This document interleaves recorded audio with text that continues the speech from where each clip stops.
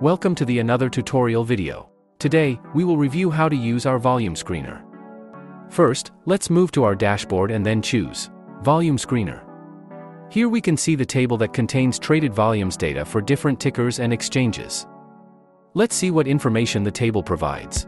First we can see the traded pairs information, like Bitcoin, Ethereum and others. Next goes the side column. It can be buys, sells, or delta. Then we can see the customizable columns. Like current price of an asset or price change in percents, during, 5 minute, 4 hour and 1 day intervals. The same logic goes for the next columns of total traded volumes during given intervals.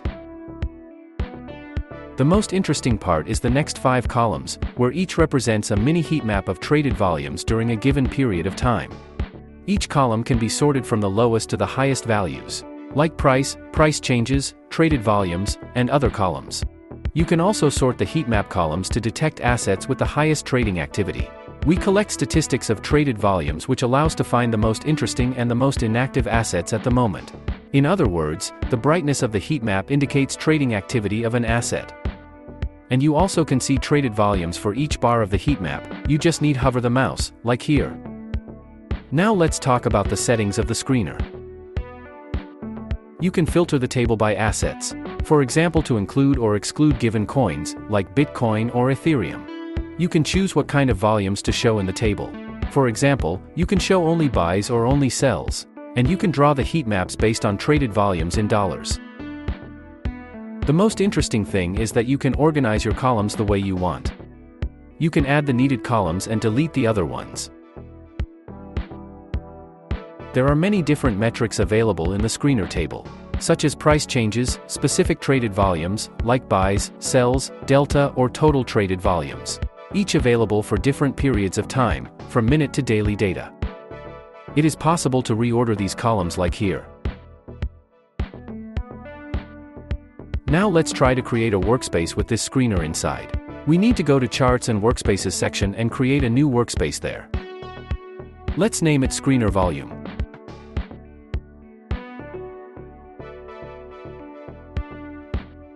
Now I'm gonna create a new widget of screener and make some setups for myself.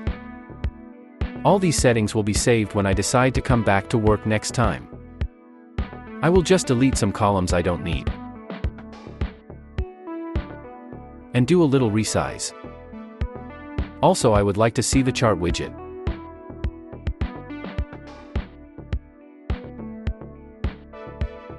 Now let's sort the table and see the most active assets at the moment. I will also synchronize these two widgets. Let's see the first asset in the table. It should be actively traded at the moment. We can see how delta volume spiked. Remember, the mini heat map in the screener represents these volumes on the chart.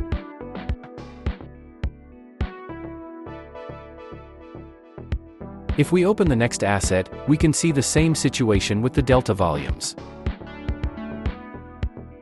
That's how you can easily spot delta anomalies using our screener, without manual search through charts.